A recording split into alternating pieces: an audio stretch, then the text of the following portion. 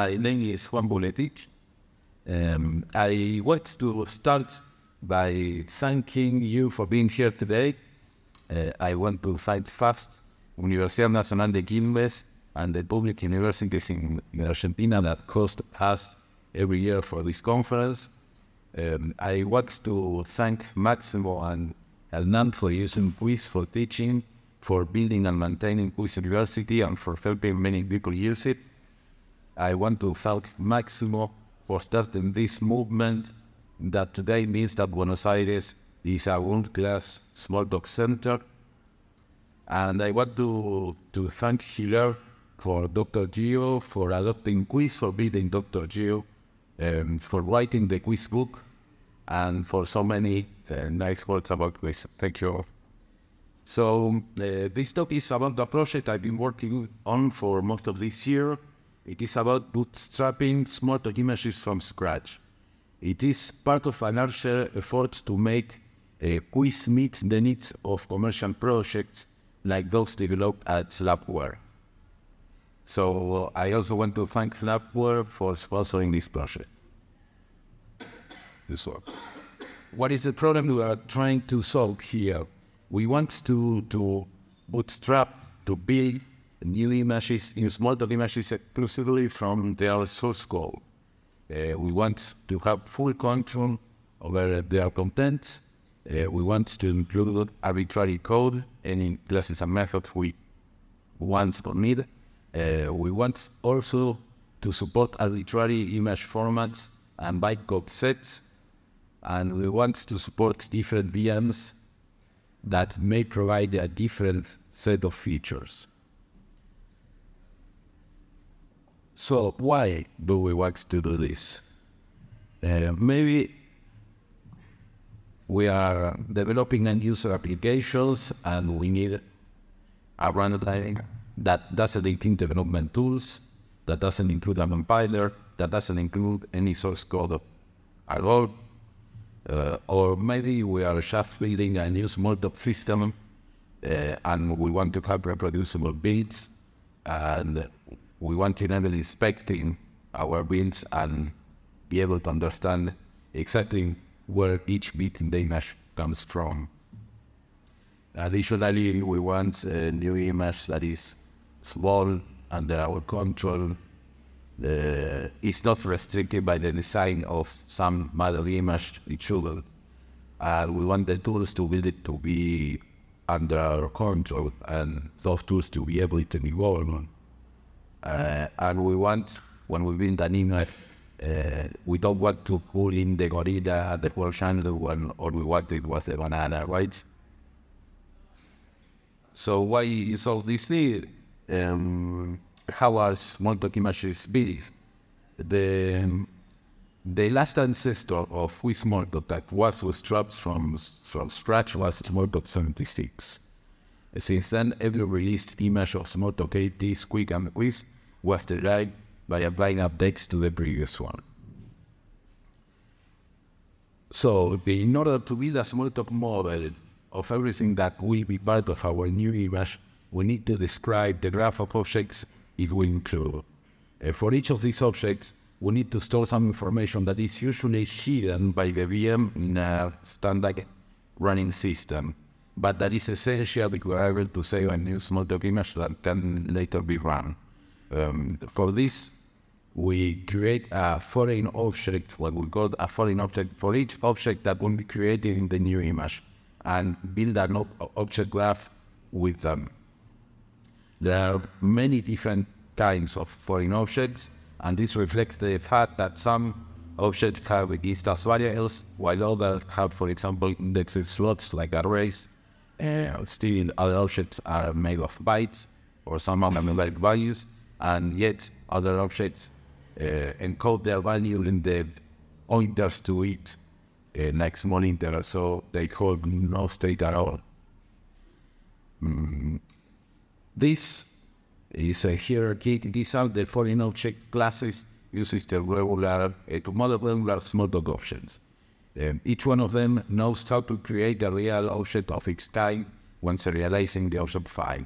As you can see, in, in parentheses the instance variables of each of those classes, uh, you can see that allocated objects holds uh, the pointer in memory where the real object will reside, and the identity hash it will use. Uh, in immediate foreign object has neither because immediate objects don't use memory um, as they are encoded in the pointer to them. Um,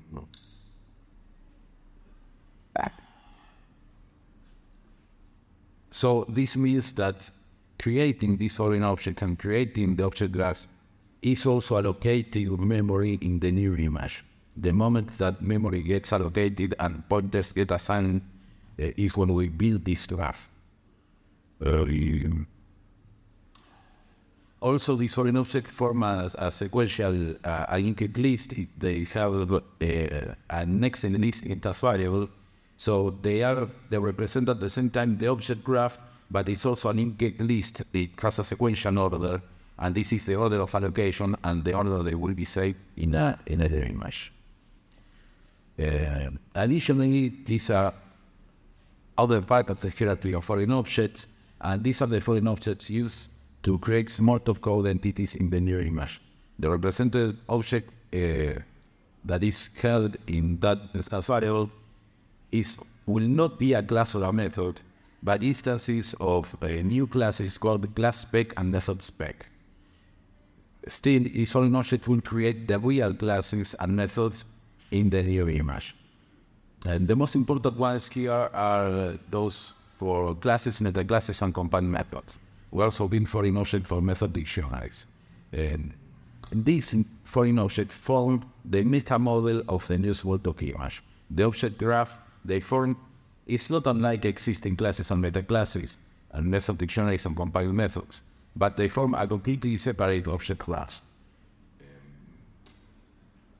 Besides, as they will be used for serializing them to a new image and not for executing them in the current image ambient, the services they offer are completely different. Okay, so these are not uh, classes and methods.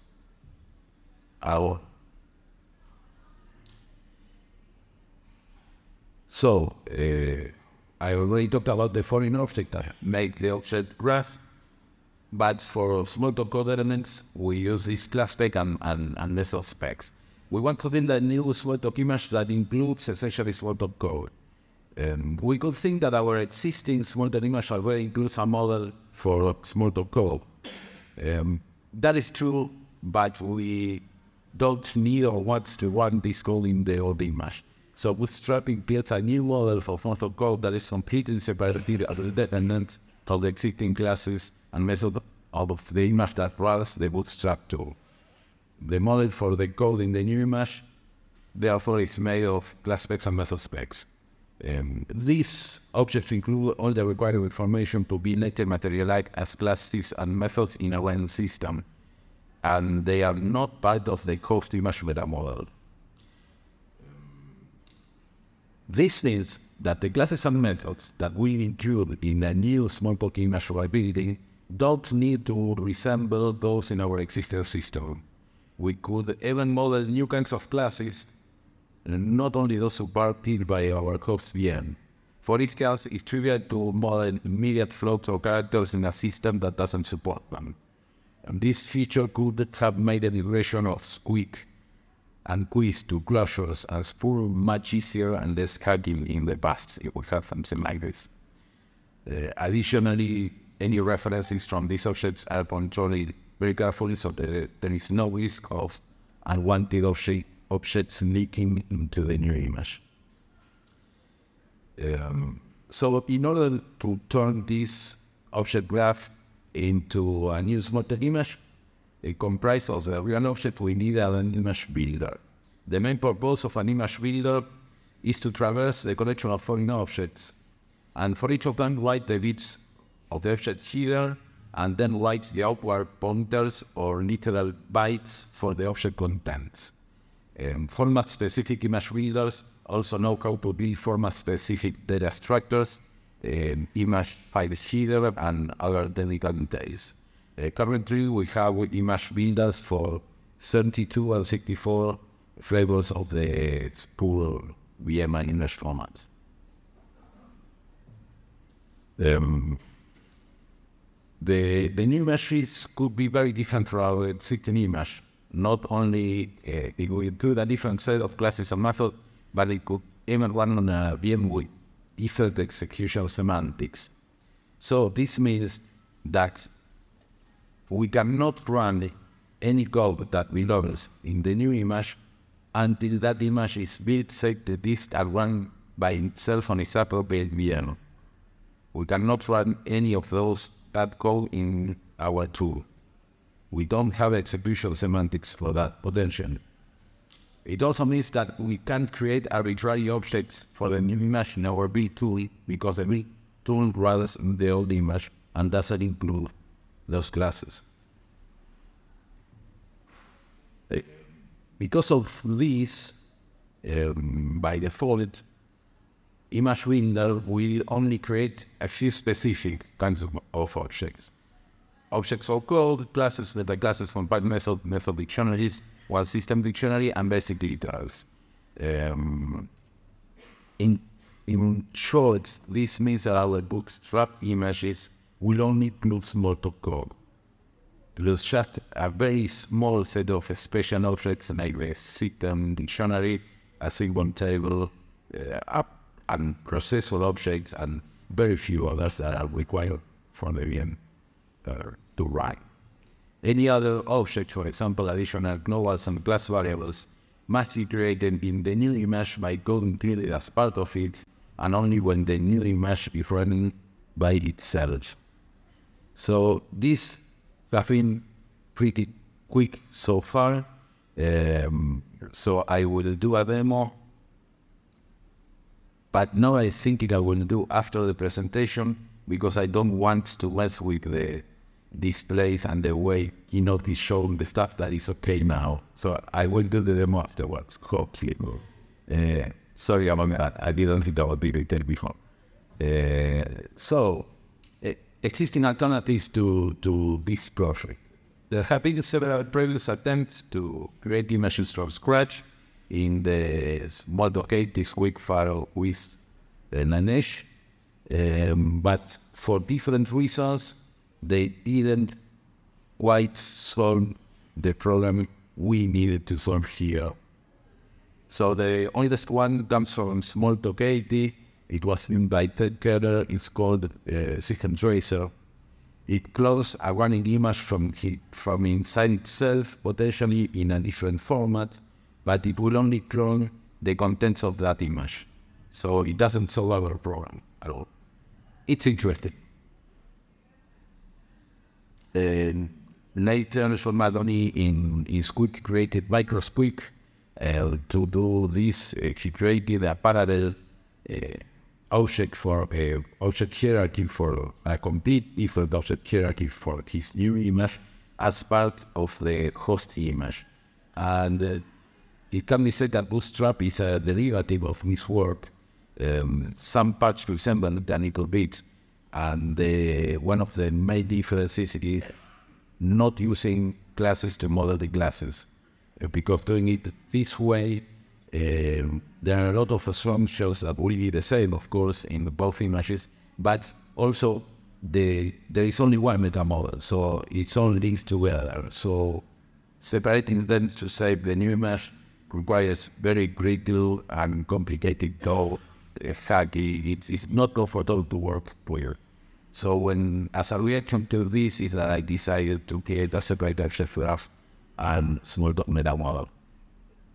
Uh, then we have a, a spoon, spoon, uh, big bike fight like that in the Squeak world. And he's what he did is a minimal image that can dynamically load code from a mother image. It's cool. It may be useful in a lot of contexts, but we you don't control what's in there. It's essentially a kind of mud stripping tool that only brings into our running image whatever is actually used. Uh, so it's interesting, but not what we want.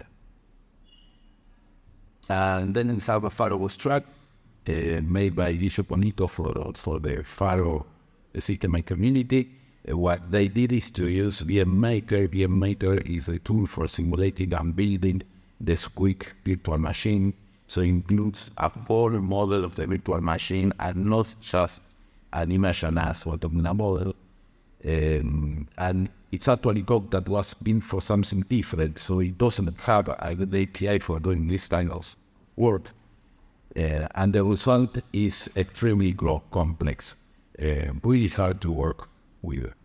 Uh, and it also, of course, has a few limitations. It will only generate images in the formats that VM Maker knows, of course. Uh, we also have this newer project, Tiny Tools, made by Excel uh, using Pharo, Strap, and Pharo. Um, she builds, instead of bootstrapping a big image, uh, a minimal image, a big like spoon, and pulls code dynamically from another image. Uh, it's interesting, it, it, sort of combines the properties of, of Spoon and Pharo Bootstrap. So, that's all. None of them did what we wanted, so we needed to uh, do it anew. Um, that will agree with that. This is a government of Bootstrap. The framework is designed with all those ideas and is hopefully easy to extend. Uh, but so far we are only using the existing Cuis compiler. So that means that we right now we cannot change language semantics. We need to uh, have pluggable compilers uh, that generate different formats of, of compiled methods or, or, or compile enough information to materialize compiled methods.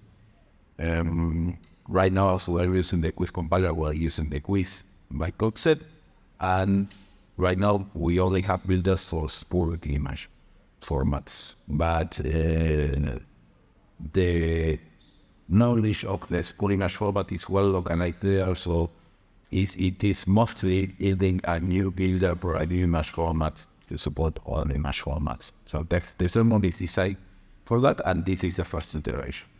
These are some of the things that, that we can do in the future, build a pluggable compiler infrastructure for compilers that then go straight from source code files to method specs um, and new image builders.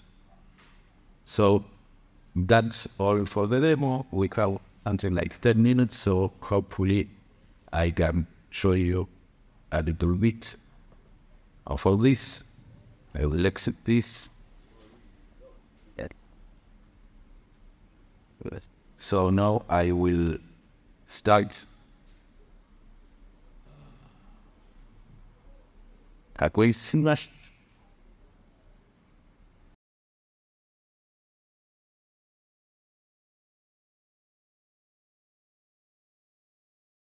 well, this oh, yeah, the resolution is rather low, so we don't have much uh, screen space. So, yeah, we'll see how we fit all the stuff here. Yeah, I, I could, yes, let's make everything a bit smaller. Let's see, can you see that menu one? Okay. Yeah. Yeah, this is it. Okay. So I prepare this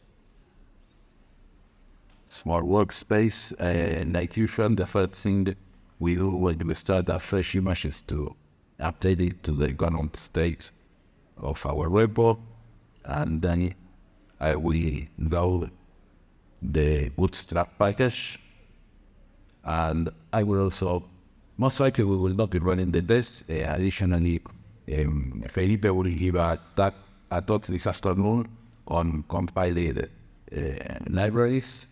So let's see some code. Um, this is one method in image builder.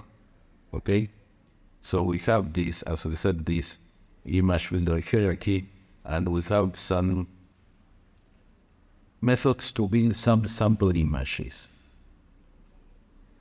Uh, this is our first example. It will be what is today a minimal image of, of this flavor. Um, building a small image is adding some. I I I will not go into detail here, and uh, I will be able to show more detail to anyone who wants because we don't have much time. So just let me build the image and this saved a file in our folder and this as you can see from the dates there it was just built it's uh, less than uh, 150 kilobytes and what this image does is run this method and this method goes to standard output and prints a little stuff so let me open a terminal window here and drop it over here.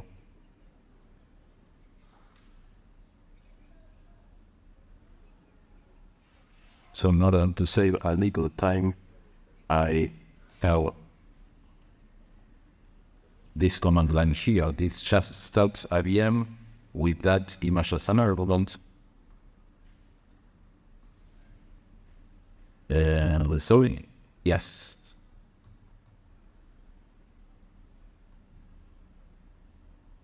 Yeah, there it is. So that image runs. The, ignore the warning is uh, uh, OPM mode detained on the Mac that is complaining that Apple wants something a bit different, not a bit big, and, and it is with any image run. So easy way out here. So we have uh, exactly what we uh, wanted to create, okay, including doing a little bit of, of math, okay.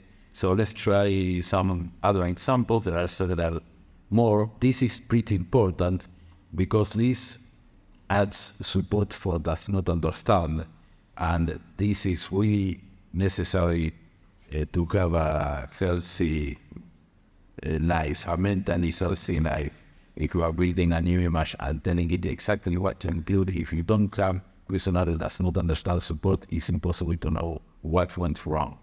And I've been like that for a couple of days until I implemented this, got working, and then everything was is reasonably easy again. So yes, it runs. Uh, what this one does, yes, it running this startup method that is exactly the same as before, but then it says small dog swallow. And that is that system dictionary doesn't understand so. Uh, we have a stack. Here the stack is only one level because it was a top level method, but it can bring a stack trace. So this is very useful and affordable. Um, we're short of time. This adds floating, falling floating point adds like 30 or 40 kilobytes of code and also works. And these are some experiments I have to admit. I, w- I would just jump to example 06. Example 06.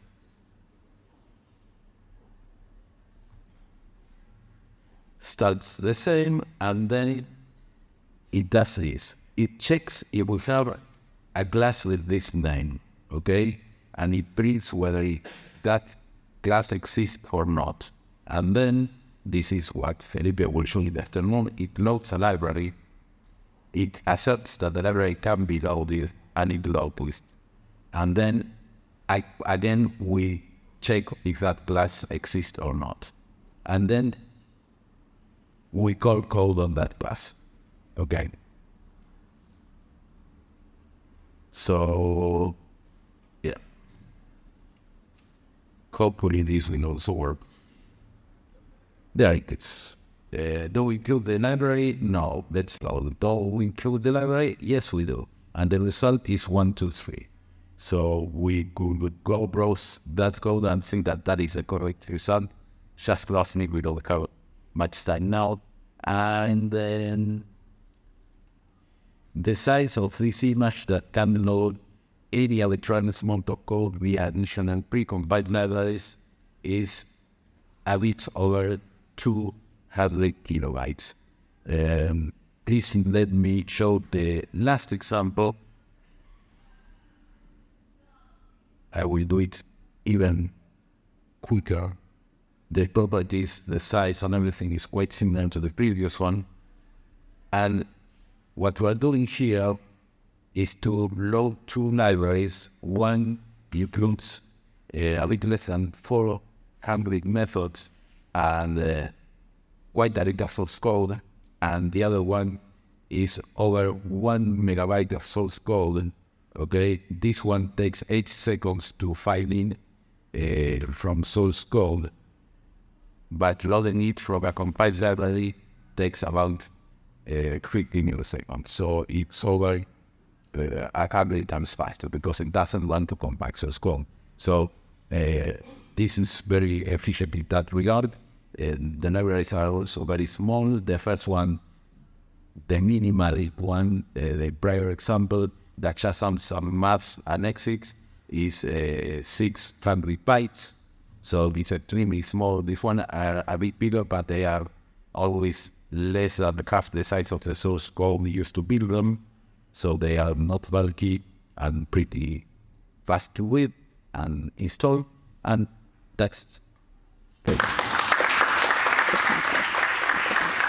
Yeah, thank you for the talking. I actually did something similar that many other law, and one of the things was that I helped something similar to DCL, and then I pre-compiled the compiler, and then that takes loaded, then that compiler can compile stuff into So that was cool. And but then my question is, so what the format of the DCL can it be like a new format or any like new format, or it has to be like the same as the mother image? There, there, there isn't there isn't any real need for the format of the DCN. The DCN is just uh, uh, a very simple object. There is a, an object DCA that we celebrate that just include a collection of class specs and a collection of method specs. And uh, anything could be used to serialize that. Right now, I'm just using smart reference NU because it's part of the image and works. Uh, if we wanted to make load times faster, we could use a better serializing serializer like, for example, Fuel. Okay, but right now I'm just using smart reference string. It's the basic object filer in the Hut. Thank you very much for that talk. It's very interesting what you are doing. I'm quite happy to see you are doing that because it proves we were more or less in, in sync yeah, in our pattern too. Yeah, that's very good. Just I wanted just to clarify one thing. Uh, in the slide from Pharo, you say that we cannot uh, uh, write another difference of image formats, and that's incorrect. In fact, we do it all the time. the only difference is that we, uh, what, what you do in the uh, plane with image, but without VMmaker, we do it with VMmaker, we extend VMmaker to transform the image formats. And what other image formats is? Uh, for example, uh, we needed to modify slightly the, the image format for adopting objects of the permanent space, for example. And that require a change. And we have already done different slides. We we have, have not uh, modified radically the image format for the moment, but we could. And there are experiments that we have done there. The, the only difference is what you do in in Cuis, we do it in Pharo with the VMmaker role. How can say that? And, and but and uh, yes, I do agree. However, that is quite complex. I I didn't go. I didn't. Thank you for that. Yes, I wasn't aware of that. Thank you. Even if the sizes you, you will show were pretty small, 100k, 200k, like 200K is a lot of stuff. What, what is actually in those What is actually in there? Yes, these are uh, Spur uh, images, and, and this is a Spur 64 image. The Spur 64 image uh, has um, some data structures in the VM. It has a class table made of a groups table and pages that it reads in dynamically and lead to it. Um, and this image is only include the base table and two mandatory pages, one for some reserved special classes known by the VM and another one for a small set of classes we include. And that takes about 60 kilobytes. So, and in, in the SRP2 we image, most of the spaces are only used by stuff that is mandatory by the VM. Uh, what we include is, uh, I, I, can show you later because I need to open a browser and, and I need five minutes, but I carefully selected um, some classes that are absolutely required for the VM to be able to work and a symbol that I think are highly convenient. But all this is part of the bootstrap package and it's rather small and hopefully easy to understand. So it's trivial to play with your own sets of what you want to include or not and see how the VM grows or, or glass. The problem I always have seen is that it requires a lot of maintenance because, uh, for example, I saw in your demo that there was kind of a method that include some very normal classes that should be there. And also, uh, there are changes. So many times you change a class and then realize you need another class. So you make a change that broke all those dependencies. So getting some CI, you know, kind of daily bin, you kind of try maintaining that.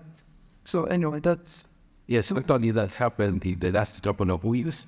Uh, we had uh, uh, Vanessa Freudenberg uh, trying stuff on open on uh, the SqueakJS running Cuis, and she found uh, about it. She found that in some places we were using the incorrect identity hash for classes. So I did a fix for that, and that is very basic functionality. And by Bootstrap immediately broke. I need to add a new method to it. So for the very small image, I don't think it is a big deal because it's very small and reasonably controlled and ACI would help. But discovering what to include in an application image is a completely different problem. Uh, and I think uh, at least I need new ideas of how to handle that. Right now, this is an explicit list of things to include. And the focus was on getting it to work and, and make a framework that can grow well.